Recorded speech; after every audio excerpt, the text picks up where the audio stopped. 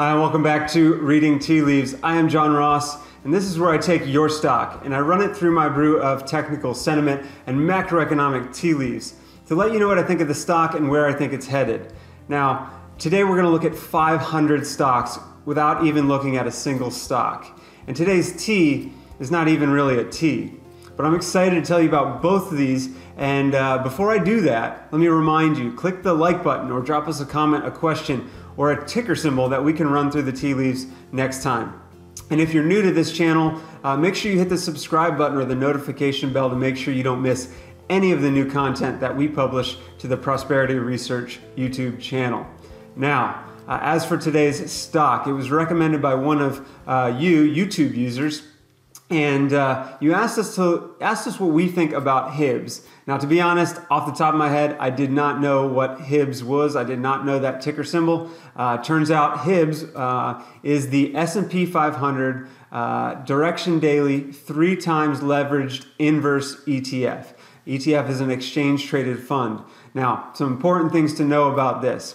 Uh, it is a, an inverse fund moves the opposite direction of the underlying index that it is tracking. So in this case, Hibs will move down when the price or the value of the S&P 500 moves up and vice versa. If the S&P 500 is falling, the value of Hibs will rise.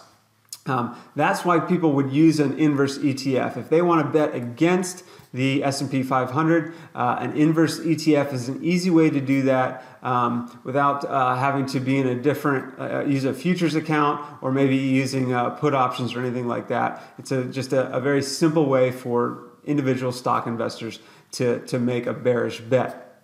Now, Hibs is also a leveraged ETF, which means it is designed to move three times faster than the underlying S&P 500 index that it tracks.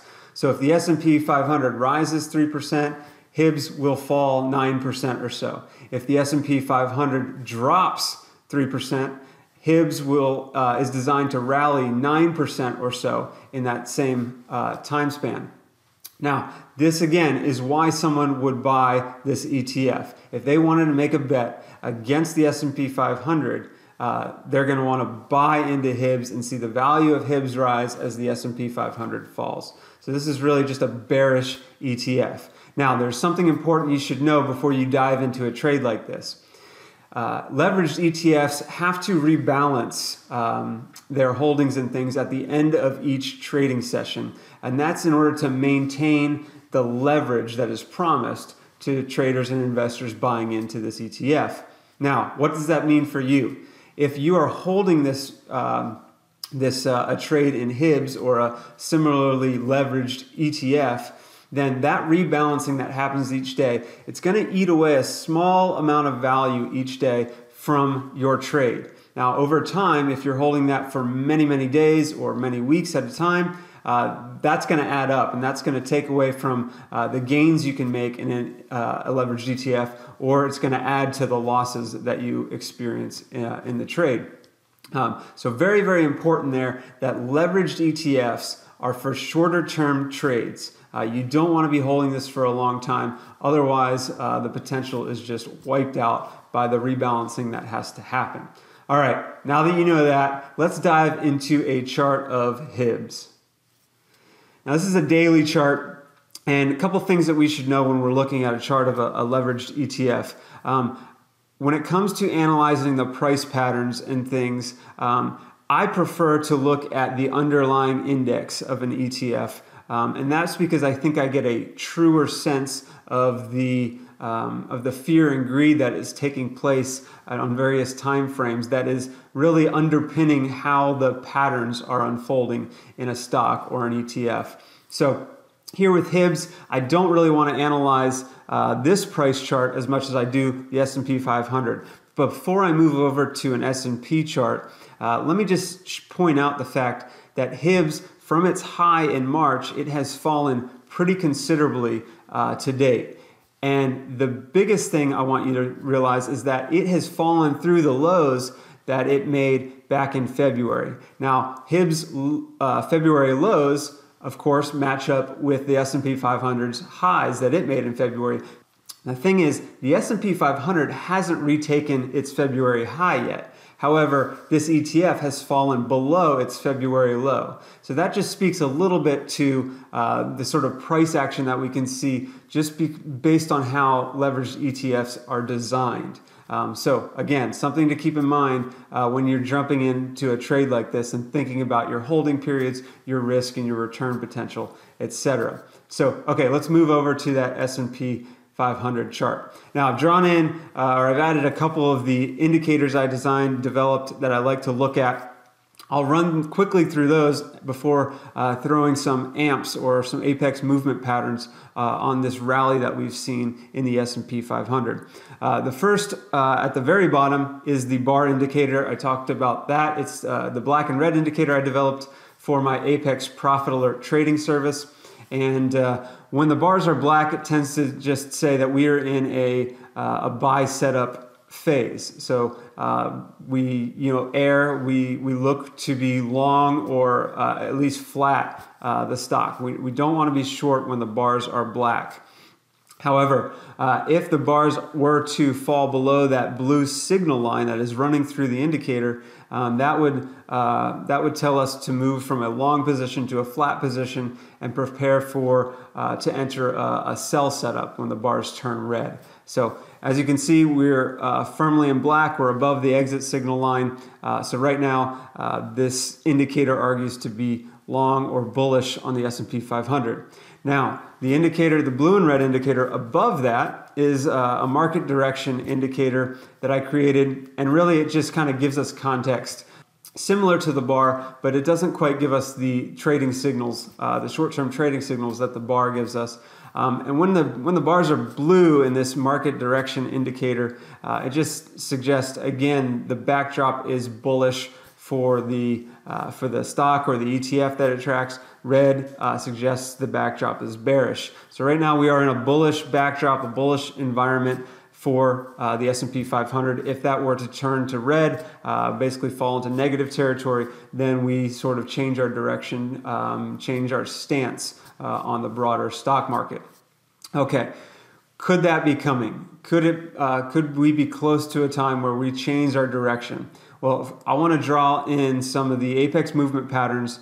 And in order to do that, let me just run through some extension things just to kind of get a sense of what this rally has done. I would draw kind of that beginning impulse, uh, then the correction that we saw, just to get a sense of what that the, the, the follow-up move to that, where that should have taken things. So that kind of tells us that you know the, the S&P 500, it sort of extended on a three-wave move uh, and then I would drop the A wave in there. So the three wave move that uh, made up that A wave. Then we saw kind of this sideways consolidation, um, kind of a one, then a two, then a one, two, three for the three. Um, so I would draw a B wave in here in this sideways consolidation right about there. So let me, uh, let me move this extension tool out of the way and let me draw in a new one using the A wave we established and then the corrective consolidative B wave, B wave we established to get a sense of where this C wave could go. Now, generally, I like to look for a 100% extension uh, of the A wave. So that would mean a C wave would take us to that 100% mark above 3,400 on the S&P 500. Now, that is a move of about 7.5% from current levels. So pretty significant upside potential. Now, if we don't get that extension, where might this fail? I would suggest it would fail right now at current levels, and that's because the extension has already extended 61.8% of the A wave. That is a very common place for an extension to fail and for the market or for the stock or the ETF, whatever we're looking at, to uh, run into resistance and turn around and fall. So I think we want to be very careful, or at least somewhat careful, at these levels. The, uh, the backdrop, as I talked about earlier, is still bullish for the stock market, and we still might get additional extension, uh, but we want to be careful if we see some type of consolidation here that could lead to a, a deeper correction um, in the S&P 500. At which point, uh, that's when we want to look to maybe our bar indicator, our shorter term timing indicator, uh, to help get a sense of what the momentum is doing and how we can be playing this. Now, if you're interested in shorter term trading ideas, uh, you can use an ETF like HIBS uh, to bet against the S&P 500, for example. Or if you're interested in being able to, uh, to make more precise bets, betting against and for uh, individual stocks, then using options is a good way to do that. Options is, is how I like to trade. It's what I recommend um, in my Apex Profit Alert trading service. Now, this is something Matt Badiali and I designed a couple of years ago uh, to really help our subscribers make triple digit gains in very short periods of time by trading options. Now, if you're interested in, in more uh, information about that or in joining us, Matt has recorded a presentation that you can watch and you can listen to that'll give you all the details about what it is and how to join it. All you have to do is click here in the upper right hand part of your screen. Uh, there's a little information bar there uh, to give you uh, access uh, to what we do. Now, um, back to this chart. So, say we get some type of pullback here. I would look for uh, a retracement of the B wave first uh, something like a 61.8% retracement that could take uh, the S&P back down to 2981, sort of kind of where it broke out. Uh, that would be a natural, reasonable uh, place to see a pullback. Uh, that would mean from current levels about a 7% or so decline. Now, we could see something more substantial. Uh, I would look for a retracement of this bigger term move that we've seen since stocks bottomed out in March. Uh, and if we get somewhere between a 38 and 61% uh, retracement, that's from current levels a 10% to a 18% or so decline uh, from current levels. Now, again, you can be using HIBS to make a bet like this and triple the downside performance of the S&P 500 in a relatively short amount of time. That's what a leveraged, triple leveraged inverse ETF is good for, but definitely be careful for all those reasons I mentioned earlier. So, with all that said, let me jump into today's tea, which is not a tea. It is yerba mate, and I wrote about this a couple months ago uh, to some of my subscribers. Um, it's a really, really good drink, and again, not a tea because it doesn't come from the Camellia sinensis plant.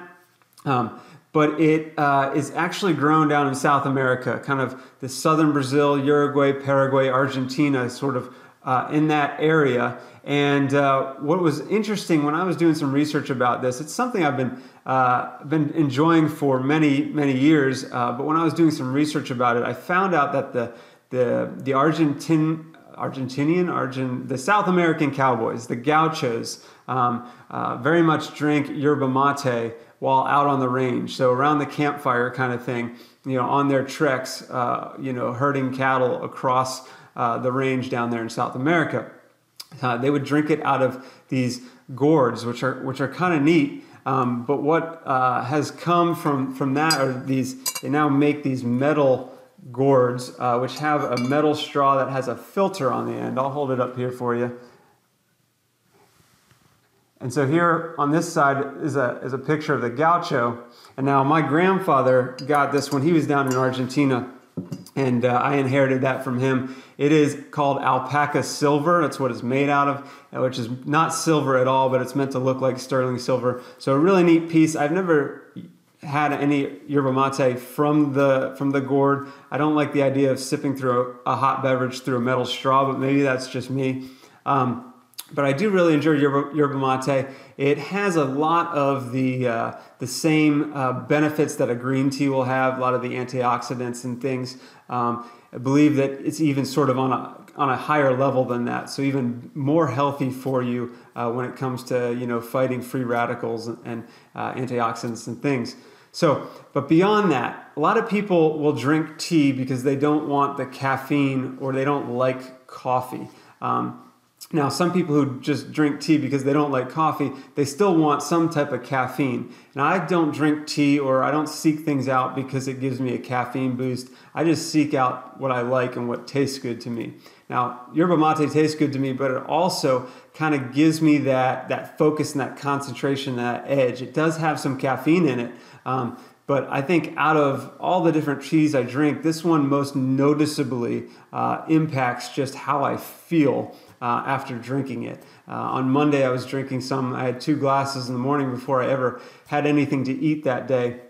And I was just, uh, I, I, could, I could feel the focus and the concentration and the energy levels uh, just from the drink. So, um, thought that might be worth sharing. Maybe that's maybe maybe that's you. Maybe you're looking for that without getting the the jitters as we we call it from uh, the caffeine that's in coffee. Maybe you don't like coffee. Maybe you're just looking for something new to try. All right, that's it. I'm gonna call it quits. Uh, subscribe, like, comment, leave us a ticker symbol. Thank you so much for watching. We'll talk soon.